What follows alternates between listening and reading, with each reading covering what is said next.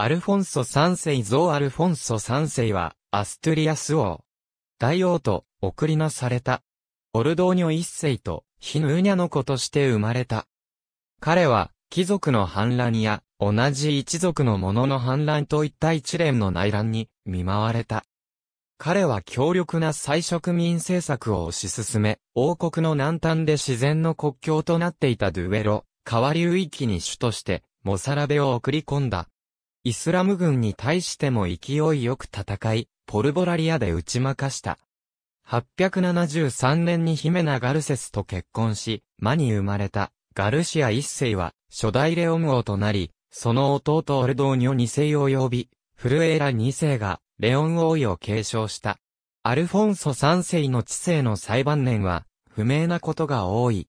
理由は分かっていないが、長子のガルシアは弟たちと協力して、父アルフォンソ三世を倒して王位についている。事実上、アルフォンソ三世は、廃位されたが王としての地位を保持したまま、サモラで没した。853年に王位継承者とされ、ガリシアの統治を任された。不王が死去すると、アルフォンソの王位継承にことを唱えた、ルーゴ・ハクフルエラ・ベルムデスと対立し、ベルムデスが王位散奪の行動に出ると、アルフォンソはアラバに逃亡した。オルドーニョ一世以前は、宣教制が行われていたが、当時はすでに忘れられていた。一年後、カスティーリャ伯の助力で、アルフォンソ三世は、ガリシアの統治権を取り戻した。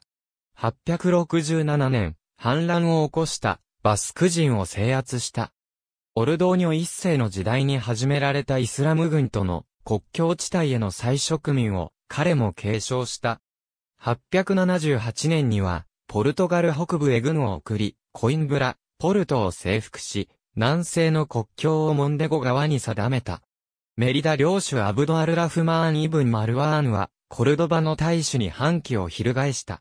大主は、マルワーンの機嫌を取ろうと、大臣ハーシムを送り込んだ。イスラム軍は、コルドバからレオン、トレド、グアダラハラ、タランコンへ進軍した。タホ川国で、イスラム軍を待ち受けた、アルフォンソ3世はこれを敗退させた。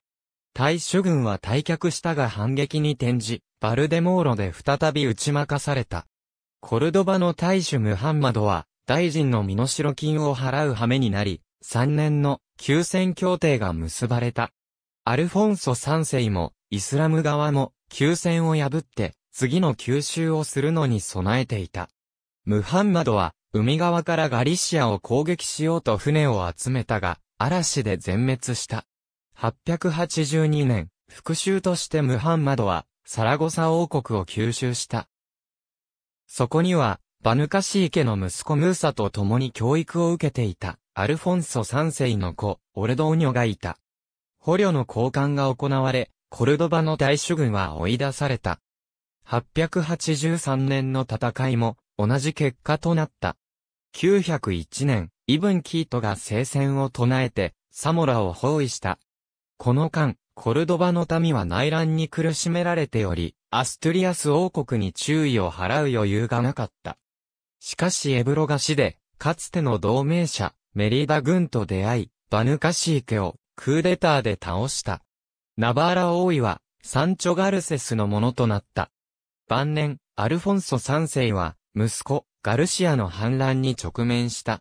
ガルシアはカスティーリャ伯ムニオ・ヌニエスの娘、ヌーニャを妻としており、シュートに強査されたとみられる。ガルシアが父親に捕らえられると、ヌーニャはヒメナ、フルエーラ、オルドーニョに支持され反乱を引き起こした。内戦を避けるため王はガルシアを解放し、王妃と共に、サモラへ隠遁し、そこで没した。この時、以来、アストゥリアス王国は広大な領土拡大を行い支配するようになった。アストゥリアス王国は、モンデーゴ川とドゥエロ川へ国境を拡大し、新しい社会は、キリスト教徒と、モサラベで構成されていた。王国は子供たちが分割し、ガルシアがレオン王国を、オルドーニョがガリシア王国を、フルエラがアストゥリアス王国を継承した。873年にパンプローナ王、ガルシア・イニゲスの娘と推測されているヒメナ・ガルセスと結婚し、以下の子女を設けた。ビクトリア十字。ありがとうございます。